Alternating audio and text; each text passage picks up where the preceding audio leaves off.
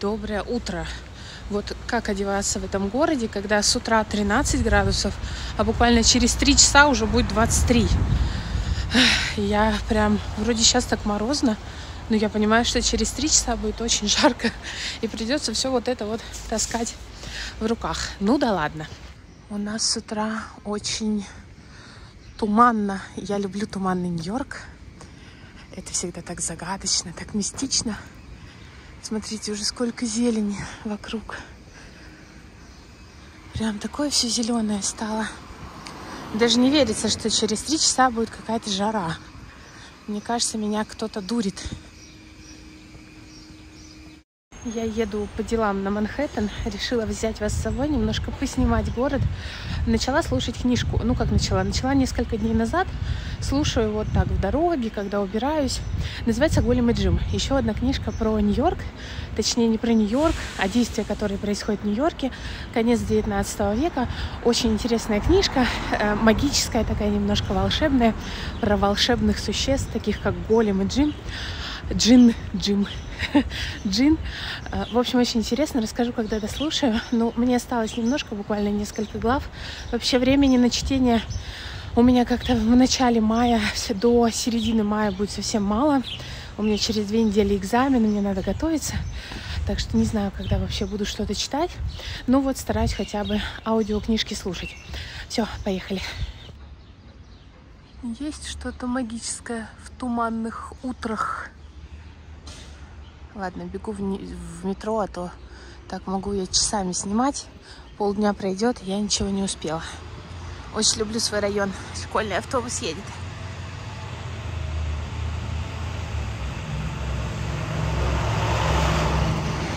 Это всегда как в кино.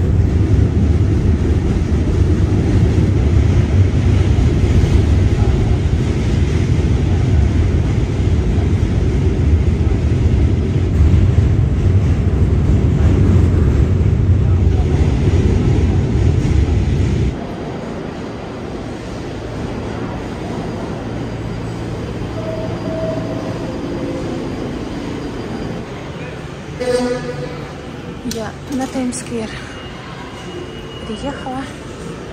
Бегу по делам. Дверь бы кто открыл. Бродвей. Таймс-сквер. Куча народу. Все как обычно. Какая девушка интересная.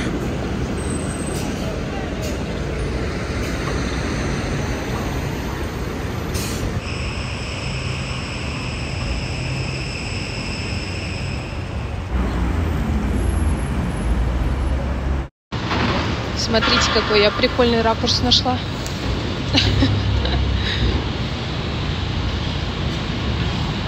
Нью-Йорк. Вообще, я очень хорошо помню, как я больше чем 10 лет назад смотрела на онлайн-камеры, еще будучи находясь в Москве. Я смотрела на онлайн-камеры и наблюдала за Нью-Йорком. А, там камера была как раз направлена на Таймс-сквер. И у меня сейчас я вам снимала эти видео, и у меня такая ностальгия прям вообще. Сколько прошло лет. И я все до сих пор, вот уже, несмотря на то, что я 8 лет живу в Нью-Йорке, я до сих пор не могу поверить, что я живу тут. Представляете? Уже 8 лет прошло, я получила американское гражданство. И я до сих пор не могу поверить, что я жительница Нью-Йорка. Вот такое бывает.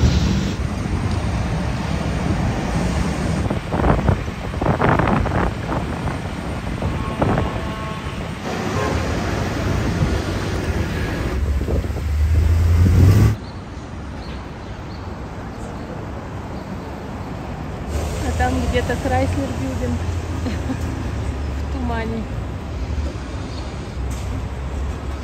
Все сегодня в тумане. Но это место вы точно знаете. Наша главная публичная библиотека Нью-Йоркская. Если вы смотрели «Секс в большом городе», «Послезавтра» и многие-многие другие фильмы, то это все вот тут.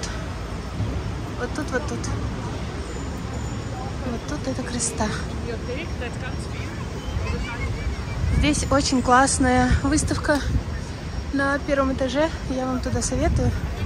Потому что там есть Винни-Пух. Вон тот слева. Вот, вот этот. Настоящий Винни-Пух хранится в этой библиотеке.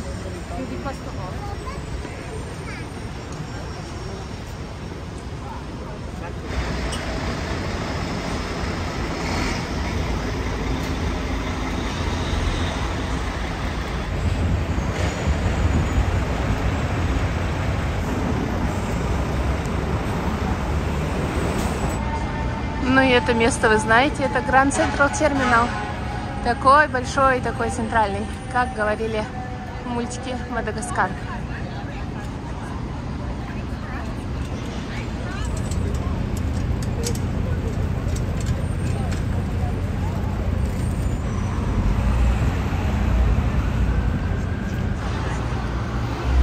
Пойдемте зайдем внутрь. Мне нужно туда, на вокзал.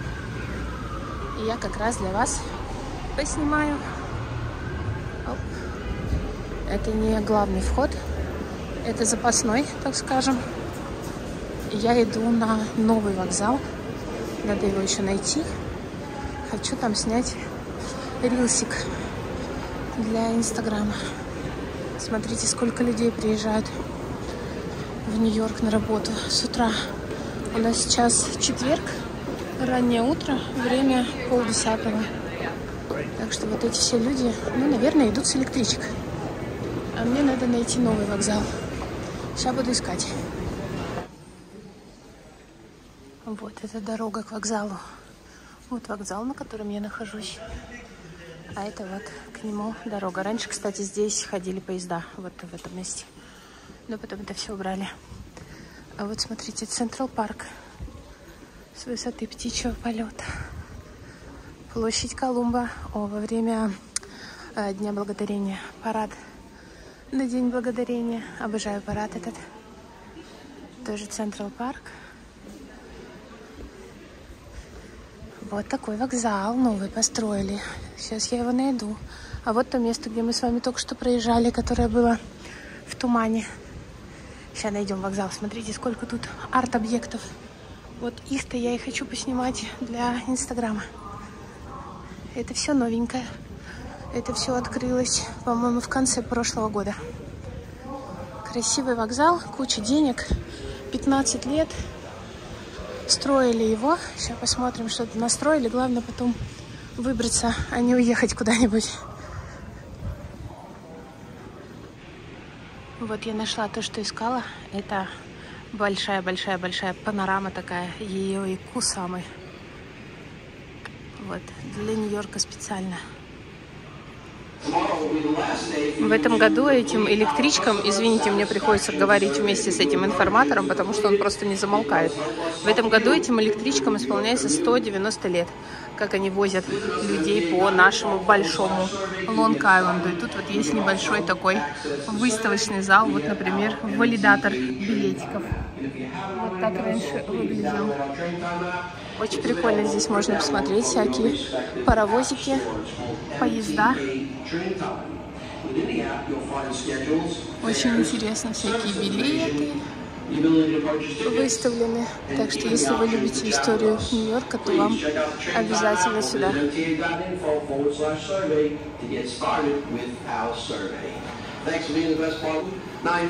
А здесь вот карта поездов. Вот мы с вами находимся вот здесь. И вот так, вот здесь вот Бруклин находится. Господи, где он? Я не вижу пальцем. Вот он, Бруклин. Вот я там живу. Вот здесь Манхэттен, мы с вами здесь находимся. И вот так вот идут все электрички по нашему Лонг-Айленду. Мы доезжали до самого конца.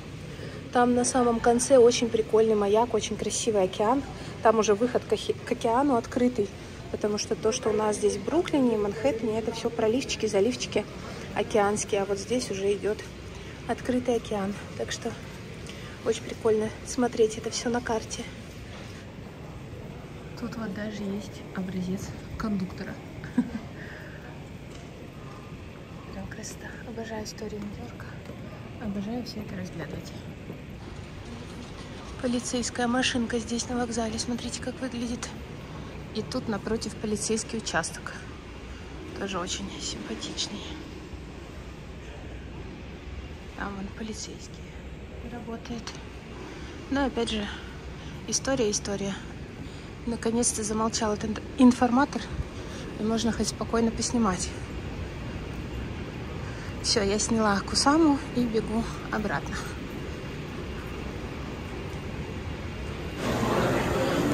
Я поднялась. И сейчас покажу вам главную красоту этого вокзала, которую вы точно видели в каких-нибудь фильмах. Это вот. Это же самый снимаемый вокзал в мире, наверное. Grand Central Terminal. Здесь куча всяких секретиков находится. Так что, если вы будете в Нью-Йорке, то приходите ко мне на экскурсию. Я вам все, все эти секретики расскажу. Но так это очень красиво. Я обожаю этот вокзал. Обожаю кассы, тут еще немножко работает. Конечно, все уже перешли онлайн. Люстры. Это все очень-очень красиво. Самые дорогие часы Нью-Йорка. Ну вот обычно оттуда все снимают и фотографируют. Где куча народу. Все. Я выхожу и бегу дальше по делам.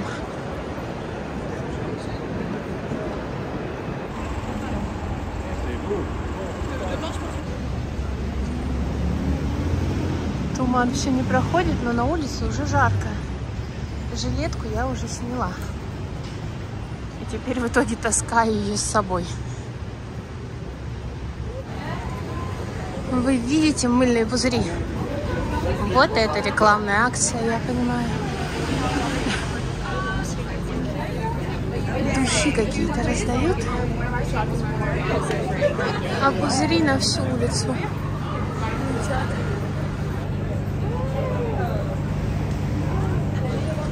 Какие красивые девчонки.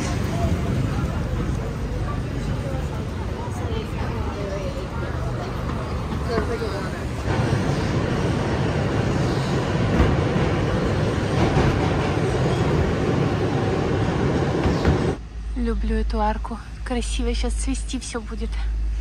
Она еще такая самая поздняя весной, но будет потом очень красиво. Как вы видите, у нас распогодилось, как и обещал прогноз погоды. Я дослушала Голем и Джин. Ну, э, в принципе, я и поставила четверочку из пяти. Там нет атмосферы Нью-Йорка особо такой. Это такая прям сказка-сказка. Такая сказка для взрослых в стиле «Тысячи одной ночи». Э, мы там две, видим две линии. Это линию Голема, которую создает неудачник – Э, которому никак не везло с женщинами. Он обращается к какому-то там местному шаману, и он создает ему женщину, но при этом голем наделена мозгами, наделена каким-то разумом, может думать, чувствовать.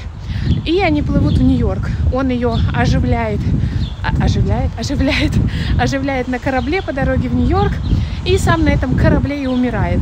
И она остается одна, прибывает в Нью-Йорк, и вот ее удивительная жизнь там и начинается, точнее тут. И вторая линия Джина, которого тоже оживляют э, в Нью-Йорке через много-много лет его скитаний в лампе, которого заколдовали давным-давно.